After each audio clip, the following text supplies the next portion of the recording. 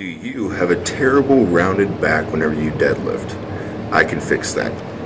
What's up guys, my name is Sutton Haye and today I'm going to be talking about the deadlift and my journey, ugh, my process, whatever, about how I went from a terrible rounded back deadlift to the not so bad one I have right now. Now before I get into all of this, a word about credibility.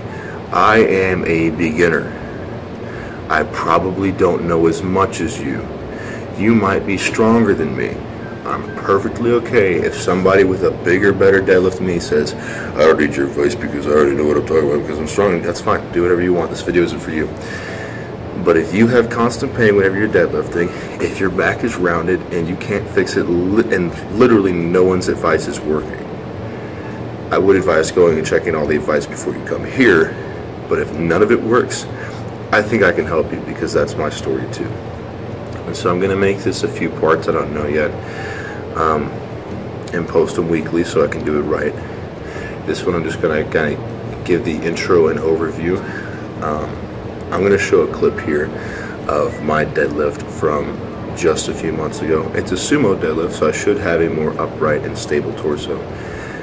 But as you can see, it is a terrible looking lift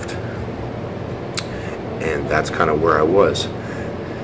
And now, a little bit later than that, I have a much cleaner setup. It doesn't cause me pain anymore, and I feel like I'm actually making progress on the deadlift for the first time. And so, as a brief overview, I'm going to look at this thing very analytically because that's how I think. I want to discover what's the problem, weakness or position oriented, maybe both, and then talk about both of those. I want to talk about how my leverages and body shape contributed to the problem and how I can use them for a better solution later on. And then um, kind of my plans for progressing in the deadlift, a little program there at the end for anybody who wants it. So I've been in the gym since I was 13 years old now. I'm now 18 years old, 240 pounds, got a 365 squat, a 435 deadlift, and a 295 bench. So again, you're way stronger than me, fine, this video isn't for you. But I started lifting about four or five, yeah, about five years ago. That's when I started learning how to lift and when I started devoting my mind to it. But it wasn't until the fall of 2015 when I really started taking this thing seriously. I did all my growing whenever I came to college here.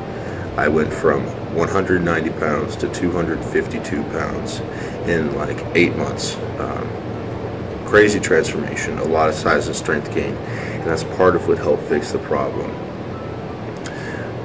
In this video, I want to give a principle that I think just works um, while I make the rest of it, so you can start thinking in terms of uh, in terms of programming for how to fix this problem.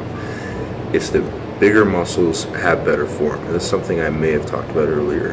You see, people with big muscles can have more control over them. You see this whenever guys do like a pec dance on the beach. It always used to annoy me because I couldn't do it. And then you build bigger muscles and suddenly you gain control that wasn't there before. Whenever Alan was in the gym with me, you know, just a couple months ago, he, after a back day, he's like, I had no idea I could flex my back. And it's true, as your muscles get bigger and stronger, you gain more control over them and gaining control over all the muscles in your back, your shoulders, your core, your hips is key to fixing your deadlift. And so where you can start is with light bodybuilding work that isn't going to hurt you, that's going to make these muscles bigger to the point where you can feel them. Because if you can feel them every step from here on out, it's going to be way easier. So that's it for the intro. I hope you guys stay tuned and definitely share this around because I know this is a more common problem than people talk about. I'm going to talk about advice that doesn't work or didn't work for me. I'm going to talk about the few pieces of advice that do work and then I'm going to give a roadmap for how to improve your deadlift as time goes on.